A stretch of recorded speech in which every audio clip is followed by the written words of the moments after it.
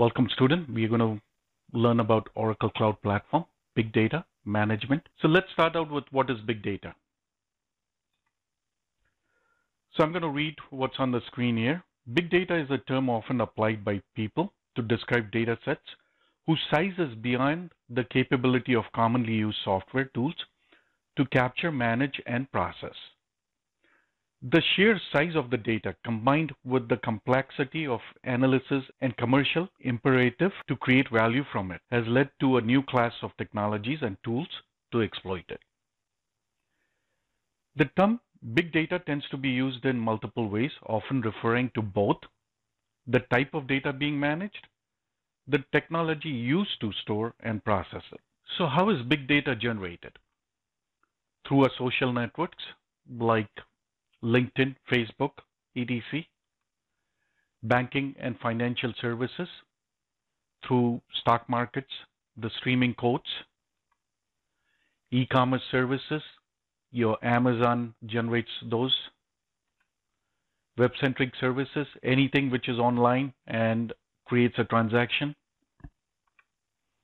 internet search indexes like whatever you type in Google, Scientific and document searches could be research papers and documents which are online. Medical records, your records could be your doctor visits, your calls to your doctor's office, payments to your doctor's office, and etc. Web logs, the logs generated could be automated logs generated through your web service. So mostly this technology is originated from companies such as Google, we talked about, Amazon, Facebook, and LinkedIn, where they were developed for each company's own use. To analyze the massive amount of social media data being produced. Due to the nature of these companies, the emphasis was on low cost, scale out commodity hardware and open source. Google, Amazon, Facebook, they all started out small by individuals. Maybe Amazon was in a garage Facebook in a college dorm, Google uh, through a research at Stanford. So they didn't have the resources, financial resources, so they depended on low cost technologies. We'll talk about characteristics of big data. So volume, velocity, variety, and value. So these are the four V's which make up a characteristic of a big data. The world of big data is increasingly being defined by the four V's, the ones we mentioned. These four V's become a reasonable test as to whether a big data approach is the right one to adapt for your new area of analysis. The size of the data with technology, it is often very limiting to talk about data volume in any absolute sense. As technology marches forward, numbers get quickly outdated. So it is better to think about volume in a relative sense. If the volume of data you're looking at an order of magnitude or larger than anything previous encountered in your industry, you're probably dealing with a big data. For some companies, this could be terabytes, and for others, it could be petabytes velocity. The rate at which the data is being received and has to be acted upon is becoming much more real time. While it's unlikely that any real analysis will need to be completed in the same time period, delays in execution will inevitably limit the effectiveness of your campaign. Limit interventions or lead to suboptimal process. For example, some kind of a discount offer to a customer based on their location is less likely to be successful if they've already walked some distance past your store. Variety. There are two aspects of variety to consider, syntax and semantics. In the past, this have determined the extent to which data could be reliably structured into a relational database and content exposed for analysis. Although modern ETL tools are very capable of dealing with data arriving in virtually any syntax, in the past they were less able to deal with semantically rich data such as free text. As a result, many organizations restricted the data coverage to a narrow range of data. Differing the point at which this kind of rich data, which is often not fully understood by business, also has significant appeal and avoids costly, frustrating modeling mistakes. It follows then that by being more inclusive and allowing greater model flexibility. Additional value may be created. This is perhaps one of the major appeals of the big data approach. So in the past, data which was not structured was avoided and there was a lot of value lost there. So in comes value. The commercial value of any new data sources must also be considered. So anything new you see on your data, you want to consider that. Or perhaps more appropriately, we must consider the extent to which the commercial value of the data can be predicted ahead of time so that the ROI can be calculated and project budget acquired. Value offers a particular challenge to IT. In the current harsh economic climate, it is difficult to attract funds without certainty of the ROI and the payback period. Importance of big data. This was an Oracle Commission study. So the results are 86% of the interviewed executives considered big data to be an important part of their business. This study is backed up by significant rise in the number of organizations adopting big data technologies in the last few years. And if you are in the IT field, you've heard about data, data scientists, AI, autonomous databases, autonomous cars, autonomous planes. So that is all got to do with big data.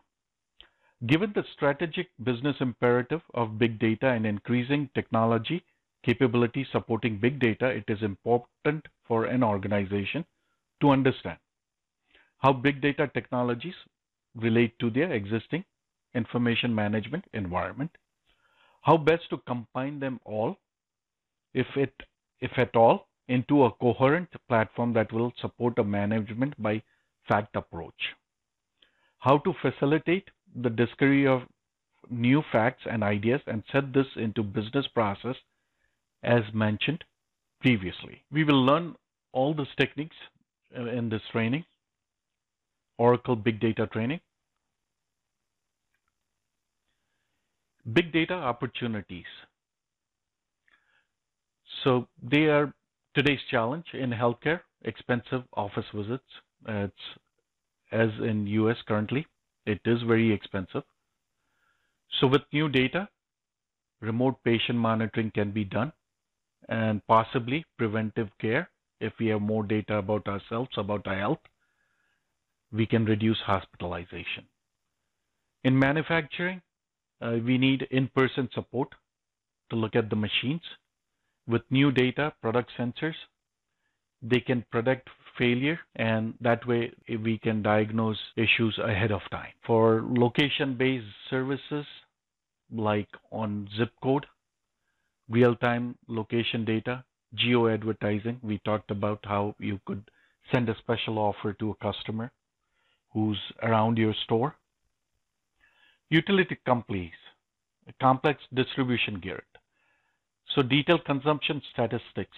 If the utilities companies have up-to-date distribution stats, they can divert their resources to the much needed areas and uh, this way uh, they could keep up with the demand. So big data challenge. So there are multiple challenges. When to schematize, how to analyze, how to process, and governance. So to schematize, uh, to make the data understandable, a schema must be applied to it before analysis. One aspect that most clearly distinguishes big data from relational approach is the point at which the data is organized into a schema. In the relational approach, data is placed into a schema when initially written to the database schema on write. In a big data approach, data is only organized into a schema immediately before analysis. So it is schema on read. How to analyze? One area where there is almost no difference between the approaches is the analysis technologies applied. Data scientists typically use broad range of technologies such as SQL, data mining, and statistical and graphical analysis depending on the problem being tackled. Regarding how to process, another challenging area is to processing of unstructured and semi-structured data. This is mostly because the terms fuse two key differences of the physical representation of the data, syntax and its inherent meaning, semantics. For example, a file containing JSON and XML data is easily processed by relational and big data technologies, but if the meaning of the data is not fully understood or could change over time, so having some schema flexibility will be important. So we have to be flexible with the with new type of data in order to gain business value. What about governance? Perhaps the most critical difference between relational and big data technology is really more to do with the philosophical positioning than anything technical. The technologies come from different places and the people involved have different worldview. Because of the schema freedom offered by big data technologies, we are more able to accept and process really messy data, evolve the schema as we go. This makes it ideal for data discovery and leads to a greater level of agility. But this agility comes at a cost. You can imagine what might happen in your business if every time you analyze your total sales for the year and you received a different result. It would not take long before trust in the data had broken down and the solution was abandoned. So this is the intro. Uh, let's uh, go into more detail in the next chapters.